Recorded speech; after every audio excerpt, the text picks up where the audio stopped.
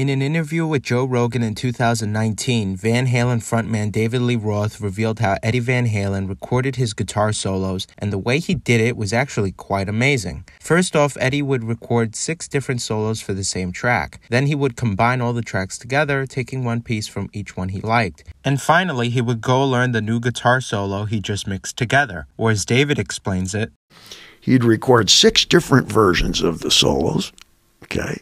And then just start, move the channel. Like here, turn this one on, turn this one off, turn this one on, turn this. Ah. And then he'd have to go learn the solo.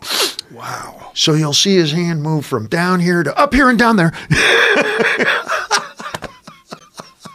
it became a gymnastic effort, more elbow and shoulder to wow. get his hand from the far end of the fretboard all the way up to the pickup and back to duplicate that